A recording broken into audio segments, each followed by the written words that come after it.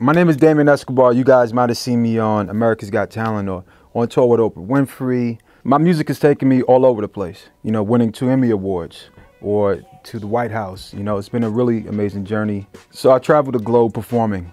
And it's a gift and a curse. You know, the, the blessing of being able to do what I do is that I, I get to perform in front of thousands of people around the world. I mean, that's the gift side of it.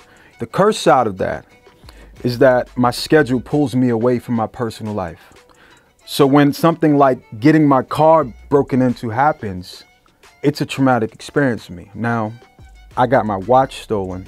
I got ID stolen. I got my children's personal things stolen. But the thing that was most important and what scared me the most, honestly, was the fact that my passport got stolen.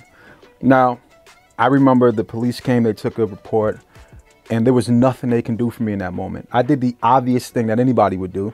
You know, I went to LifeLock. I said, look, I need to shut everything down. And I learned in that moment that LifeLock couldn't help me. They can only help me after the fact. I didn't feel any real security. Social security card was already gone. That does nothing for me. So I heard about Credit Block and I immediately gave them a call and they were, they were very accommodating. They helped me immediately. The first thing they said was, look, calm down. We got you. And they said, we're gonna lock your credit down right now. And this call was at 1.15 in the morning. They made me feel comfortable and everything they said they would do, they did. And now to this day, I feel confident that my credit is in the right hands. So I encourage everybody to just pick up the phone, call Credit Block. I mean, they, they even offer a free personal risk assessment. You see, identity theft is inevitable. I mean, this is the age of the digital fingerprint. It'll happen. It happens to everybody. The thing is, I feel so confident now because I'm prepared. So Credit Block didn't just lock my credit, they blocked my credit. So to the thief that took my social security card, you lost out.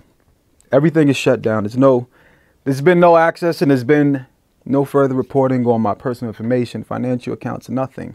So you lost and I actually won in this process because not only did I find a great company, but everything is still all good.